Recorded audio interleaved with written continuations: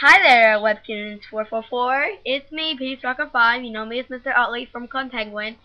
And I am entering your contest. Now, I did my own picture.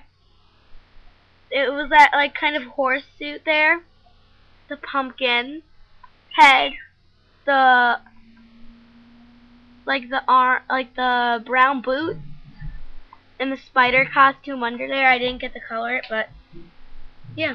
On here, on this side I was starting to do the thing for you, but then I realized I just wanted to do something my own, just something creative, he said. So I made up my own, because that's creative. Okay, um, I hope you like it, and it's nice to compete in your contest. KK, bye!